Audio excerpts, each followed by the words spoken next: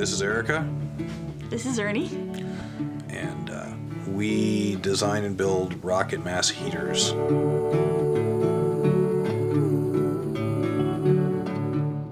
rocket mass heater is kind of a hybrid device. It's not technically a wood stove, it's not technically a fireplace.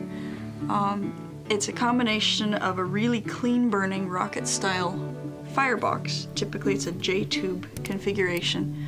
Um, insulated, uh, burns all the smoke, all of the all the fuel that's present in the wood is burned completely cleanly, and then that clean exhaust is channeled through um, you know, ducting or line channels in usually earthen masonry, but any kind of masonry can work.